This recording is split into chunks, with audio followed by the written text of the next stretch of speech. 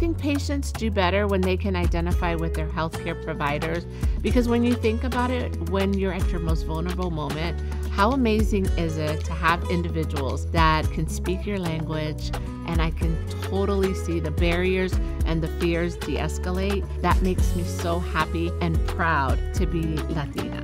This Hispanic Heritage Month, uh, let's recognize the dedication of Hispanic leaders in healthcare. Their contributions and expertise bring hope and healing to all.